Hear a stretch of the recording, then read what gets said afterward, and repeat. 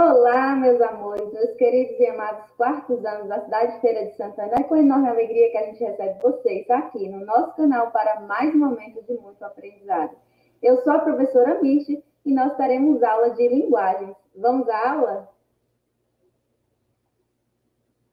Na aula de hoje, nós falaremos sobre a autobiografia, um assunto que a gente já vem falando já, já, já apresentei para vocês a biografia, e nós já fizemos já uma análise da autobiografia, diferenciando, né, esses dois tipos aí de gênero textual, que é diferente, né? Autobiografia e biografia. Autobiografia é algo que você faz de si mesma. Biografia é quando você vai contar a vida de uma outra pessoa, certo? E nós vamos escrever uma autobiografia hoje. Então, o assunto de hoje será escrevendo autobiografia e fazendo autorretrato. E para começar, eu trouxe aqui para vocês um vídeo para que vocês possam relembrar e diferenciar a biografia da autobiografia. Vamos assistir? Olá, pessoal! Hoje é dia de estudar sobre gêneros textuais.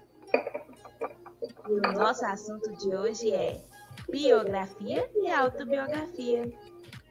Ai, quando eu era mais nova, eu era encantada com Sherlock Holmes. Eu tinha livros sobre ele, jogos sobre ele, queria falar como ele, pesquisava tudo sobre ele.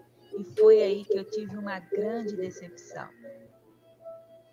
Eu resolvi pesquisar a sua biografia e foi a maior frustração da vida. Não sabe o que é biografia? Eu vou te explicar. A palavra biografia vem do grego. Bio significa vida, grafia significa escrita.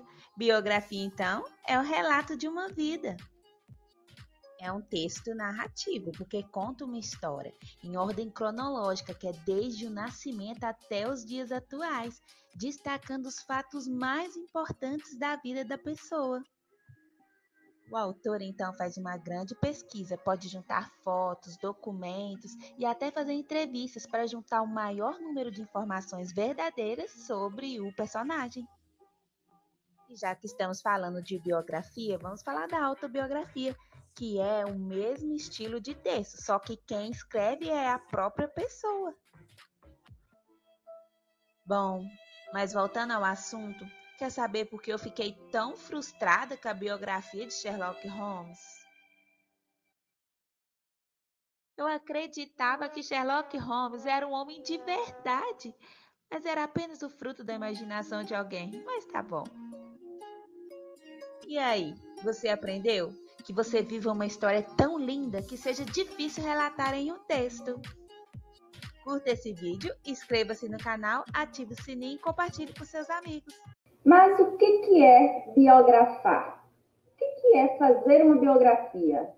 Fazer uma biografia é contar a vida de alguém. Biografia, bio, vida. Grafar, escrever, né? É o escrito. Então, é um relato da vida de alguém, uma biografia. O gênero biografia, bio, vida, grafia, escrita. É uma mistura entre jornalismo, literatura e história, em que se relata a vida de uma pessoa enfatizando apenas os principais fatos.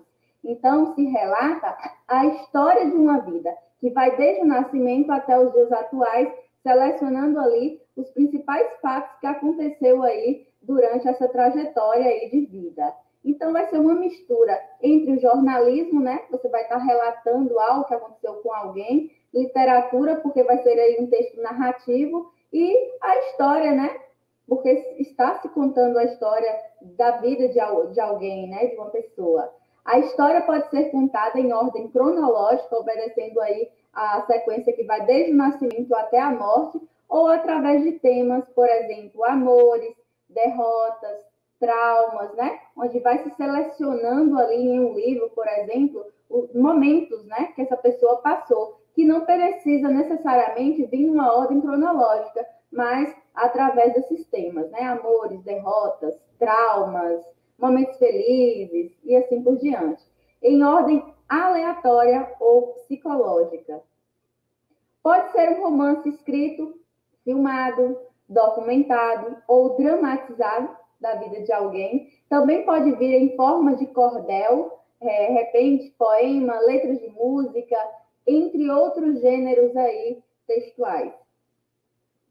Conhecer a biografia de uma personalidade permite entender um pouco melhor o tempo em que ela viveu, o que a fez ser famosa, como alcançou o sucesso, atos que podem servir de exemplos ou coisas, coisas né, que ela fez e que você jamais faria. Geralmente essas biografias elas são feitas de pessoas que têm algum tipo de relevância aí para a sociedade, que trazem em si algo de ensinamento, né, ou é, para servir de exemplo ou mesmo não só para você realizar conforme aquela pessoa realizou, servir de estímulo, vamos dizer assim, mas também pode ser relatando a vida de alguém de algo que não poderia, você não poderá fazer ou foi feito por alguém que não é legal também, né? Como a gente tem, por exemplo, livros aí falando sobre Adolf Hitler, né? Que é, ele era nazista, é algo que não é legal, que não foi bom para a população, mas é interessante que as pessoas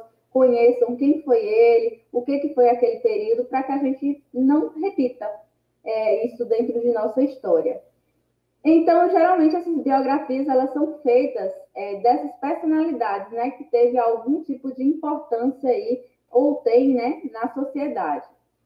As principais características do gênero textual biografia são, primeiro, informações quanto ao nome da pessoa, data e local de seu nascimento, fatos importantes da vida dessa pessoa também vai, vai estar ali dentro do texto, né? Lembrando aí que a gente tem que falar quem é essa pessoa, onde ela nasceu, quando ela nasceu, é, quais os fatos mais importantes da vida dela. O texto ele vai vir narrado em terceira pessoa. Por que terceira pessoa, Pro? Porque quando a gente foi falar lá sobre as três pessoas, né, do verbo, a gente disse o quê? Primeira pessoa, quem fala. Segunda pessoa, com quem se fala. Terceira pessoa, de quem se fala. E neste caso, na biografia, nós vamos falar de alguém, né? Então, neste caso, sempre vai vir narrado em terceira pessoa.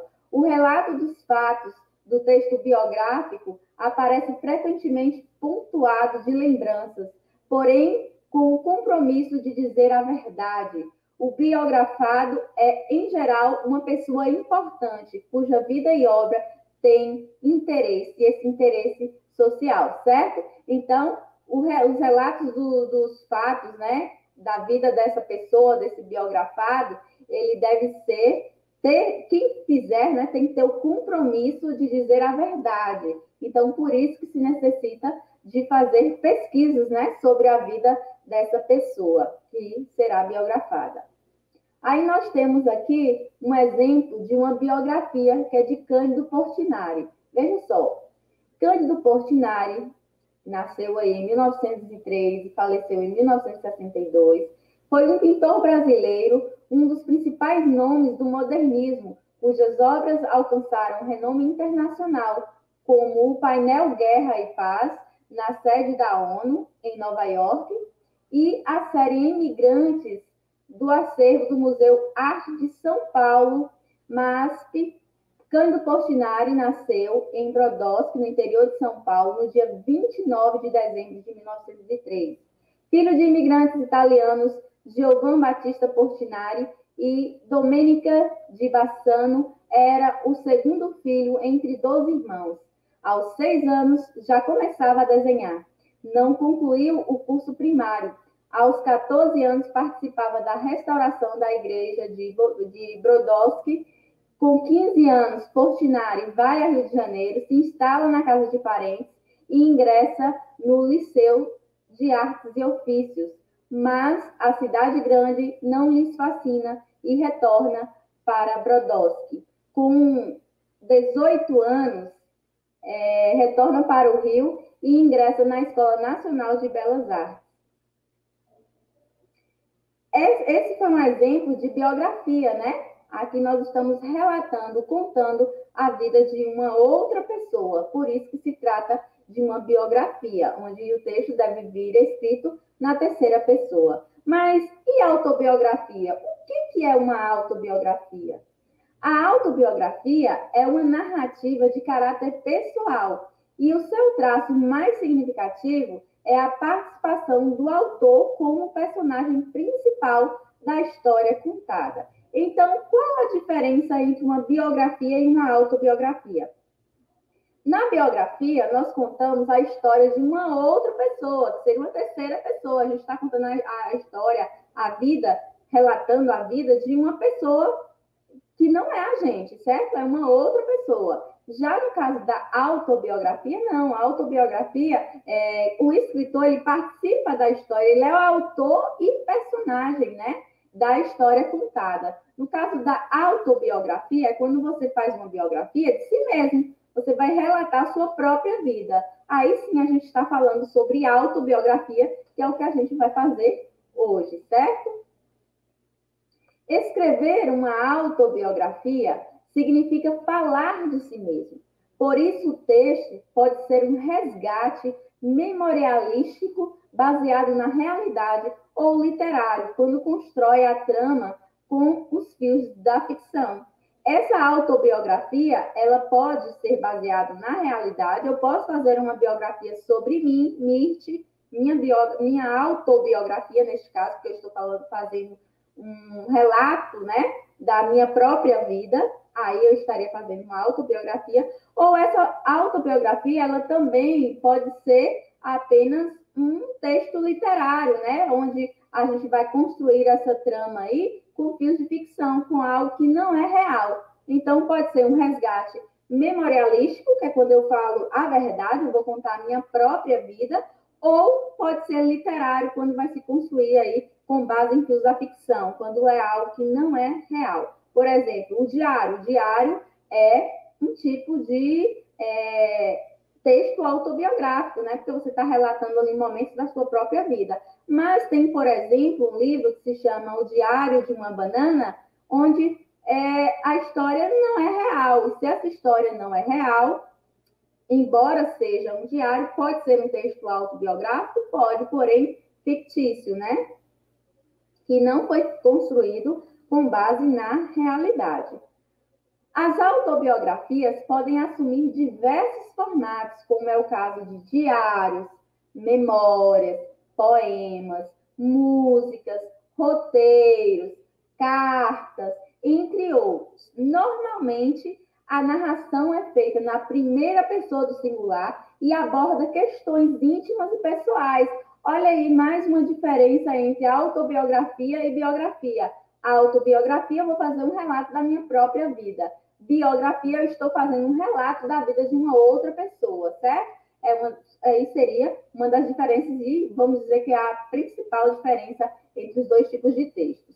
É, outra diferença é que o texto, que são textos narrativos, tanto biografia quanto autobiografia, no caso da biografia, vai vir em terceira pessoa. E a autobiografia vai vir em primeira pessoa. Isso porque é, o autor, ele também é personagem do texto, né? No caso da autobiografia.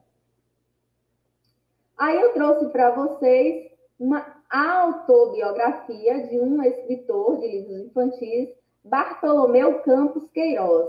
Observe aqui as diferenças, as principais diferenças entre esse texto, que é um texto autobiográfico, e o texto biográfico, que foi o que a gente leu sobre Portinari. Observe, nasci com 57 anos meu pai me legou seus 34, vividos com duvidosos amores, desejos escondidos. Minha mãe me destinou seus 23, marcados com traições e perdas. Assim somados, o que herdei foi a capacidade de associar amor ao sofrimento. Morava numa cidade pequena do interior de Minas, enfeitada de rezas, procissões, novenas e pecados cidade com sabor de laranja serra d'água, onde minha solidão, já pressentida, era tomada pelo vigário, professora, padrinho, beata, como exemplo de perfeição. Meu pai não passeou comigo montado em seus ombros, nem minha mãe cantou cantigas de minar para me fazer, para me trazer o sono. Mesmo nascendo com 57 anos, estava aos 60 obrigado ainda a ser criança. Bartolomeu Campos Queiroz, é, O Mito da Infância Feliz. Olha só, aqui nós temos uma autobiografia que foi escrita na forma de um poema. Como eu disse para vocês, a autobiografia ele pode vir através de uma, uma, narração, né? pode vir através de uma poesia, pode vir através de uma música. E qual a diferença, então, Pro? Quais as diferenças entre autobiografia e biografia? Vamos ver agora o que, que diferencia esses dois tipos de texto. Primeiro, a autobiografia o próprio autor escreve sobre acontecimentos da sua vida. O texto expressivo é expressivo e subjetivo, né? Porque é algo muito pessoal, você está falando de si mesmo. Ele vai ser narrado em primeira pessoa, porque o autor, ele também é personagem da história, certo? Não segue uma ordem cronológica, obedece mais a, a uma ordem psicológica os verbos são usados no passado, porque é algo que já foi, que já aconteceu. Já no caso da biografia, o autor ele escreve sobre a vida de alguém. Ele não está contando sobre sua própria vida, ele conta sobre a vida de alguém. O texto é informativo e objetivo, uma vez que está informando, né, trazendo informações sobre a vida de uma personalidade ele vai ser escrito em terceira pessoa, por quê? Porque está escrevendo sobre alguém e não de você. Por isso que é em terceira pessoa. Não sou eu. Nesse caso, seria ele ou ela, certo? Segue uma ordem cronológica, onde geralmente esses textos começam. É fulano de tal, nasceu na cidade tal, no dia tal, do mês tal, do ano tal, e aí começa a falar sobre a infância, vai falar sobre é, a juventude, a vida adulta, os seus feitos, né? O que, que aconteceu de importante aí é, na, na, sua vida, no caso, na vida desse personagem, que, esse personagem que é um personagem real, né? Que a gente está biografando, certo? Apresenta detalhes como locais, pessoas e eventos importantes aí na vida dessa personalidade. Essas são as diferenças entre um texto autobiográfico e um texto biográfico. A autobiografia é a escrita da sua própria vida. Biografia é quando você escreve, relata a vida de uma outra pessoa. Aí nós temos aqui alguns exemplos de livros de autobiografias. Por exemplo, nós temos aqui Minha História, de Michelle Obama, é, Fernanda Montenegro, né? É, prólogo, ato e epílogo, que vai falar sobre a vida dela também. Rita Lee, uma autobiografia aí da cantora. O Diário de Anne Frank, que também aí é, é um tipo de texto autobiográfico, como a gente falou, os, os diários, é, os memoriais, todos eles são considerados aí autobiografias. E aqui eu trouxe um vídeo, um pequeno vídeo, falando um pouquinho aí sobre a escrita autobiográfica, que até quando você escreve sobre sua própria vida, é, vai te ajudar em relação até a resolver conflitos internos aí, porque você vai compreender a sua história, né? Vamos ver? Oi, eu sou a Carolina Turino, bem-vinda ao meu canal. Aqui eu gosto de falar sobre autoconhecimento, espiritualidade e outros devaneios que surgem ao longo do meu processo de transformação. Eu te convido a entrar na playlist Escrita Consciente e se permitir conhecer essas ferramentas e fazer usufruto delas para ter uma vida melhor e mais equilibrada. Hoje, eu vou estar compartilhando a escrita da sua própria história. Essa ferramenta parece simples, singela, só que o poder de você escrever a sua própria história te dá também o poder de conhecer você mesmo. É engraçado, a gente fala sobre o autoconhecimento e às vezes coloca ele num patamar distante, num patamar muito subjetivo, vibracional, mas o autoconhecimento ele diz sobre conhecer a si próprio. Então, uma das melhores formas é sabendo a sua jornada até aqui. Para você escrever a sua história, a gente vai dividir em duas fases. A primeira é fazendo uma linha do tempo, então usando um papel ou cartolina, o que você preferir, na horizontal, para criar mesmo uma linha do tempo do ano que você nasceu e colocar o ano que a gente está no final e nesse meio da linha do tempo fazer traços com os anos mais importantes da sua vida. Então, por exemplo, algumas situações que foram muito relevantes, como mudar de escola, mudar de cidade, parentes, experiências, prêmios, tristezas, transformações. Escreva tudo isso e coloque bem de forma visual nessa linha do tempo então, você vai poder ter meio que um mapa da sua história. Então, você vai pegar um segundo papel e vai começar a narrativa da sua história. Você vai escrever como uma história o que aconteceu ao longo da sua vida.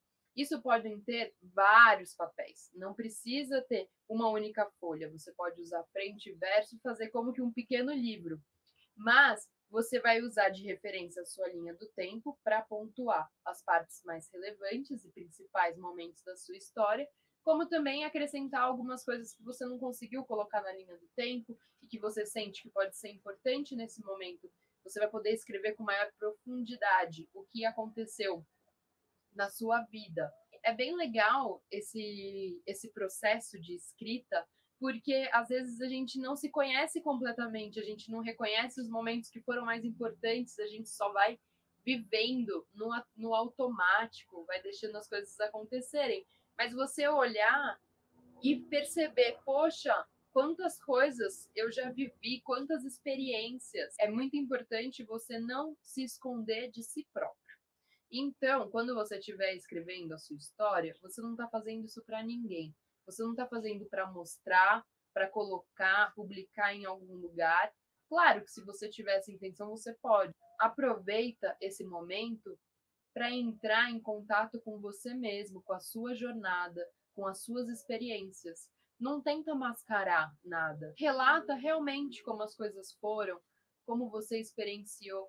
É claro que o lúdico, a imaginação, ela agrega muito e ela pode ser uma forma de encontrar muitos sentidos, significados e ter muito prazer. Mas nesse momento da sua história, também é muito importante você ter ela crua, ela verdadeiramente exposta para você se enxergar, para você não precisar se esconder de si mesmo. Então, essa ferramenta é bem legal. Ela parece uma ferramenta simples, singela, mas ela guarda muita potência.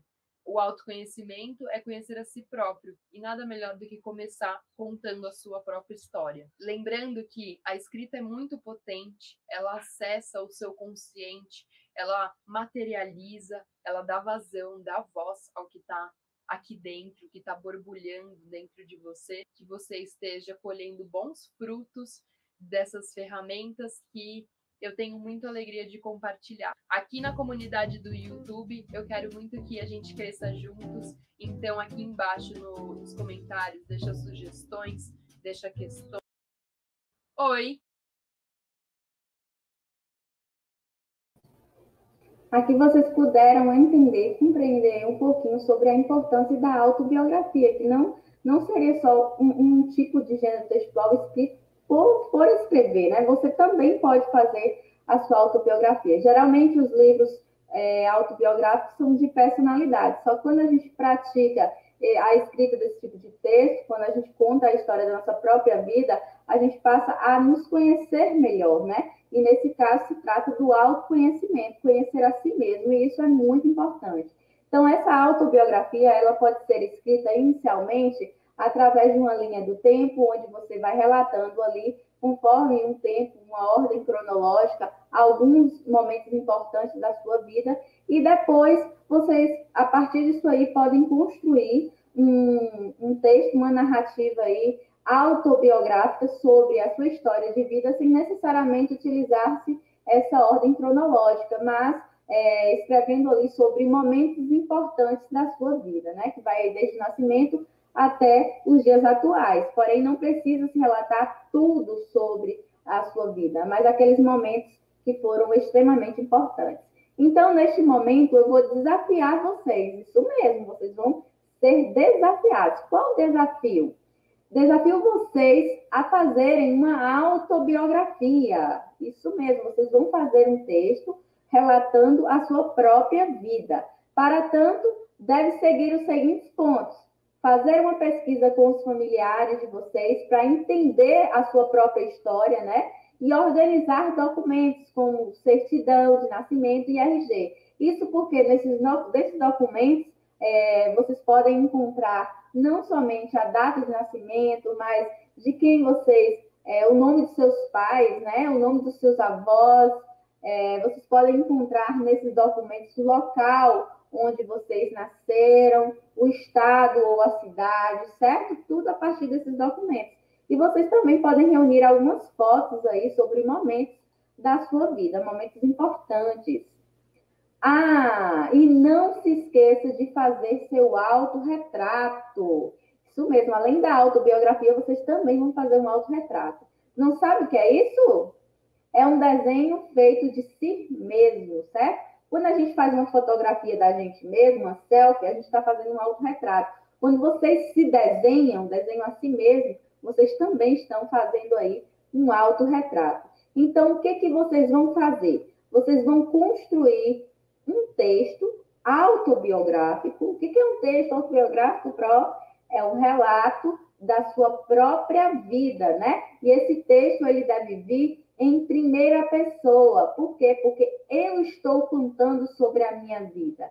Então, nasci na cidade tal, me chamo tal, nasci na cidade tal, no ano tal. É, um dos momentos mais importantes da minha vida foram esses e esses momentos. Então, você, esses verbos eles sempre vão vir em primeira pessoa, porque você está contando a sua própria história. Atenção, vocês vão fazer uma autobiografia e não uma biografia.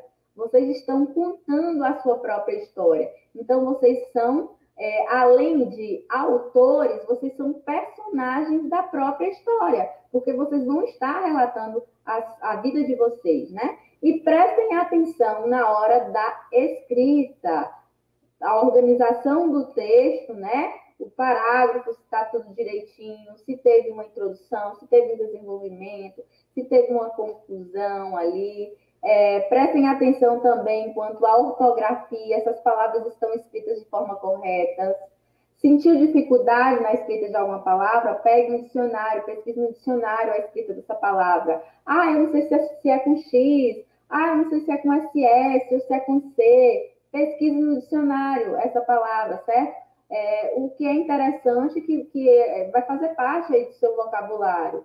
É, embora algumas vezes a gente utilize aí o sinônimo, né, quando a gente não sabe. Se você não sabe a escrita, se você não tem um dicionário por perto, é melhor sim você utilizar uma palavra sinônima. O que é a palavra sinônima? São palavras que têm o mesmo significado linda, bonita, tem o mesmo significado, belo, o mesmo significado. Se eu não sei como escreve essa palavra, eu vou utilizar um sinônimo. Mas se vocês tiverem um dicionário por perto, é melhor que pesquisem essa palavra no dicionário. Assim, vocês poderão aí aprender a escrita de uma nova palavra, certo? Então, vocês vão pegar lá o bloco de atividade de vocês, o percurso pedagógico, ler direitinho essas atividades, vão ver aí orientações, né? As orientações que foram dadas pelos seus professores, pela professora ou pelo, pelo professor, né?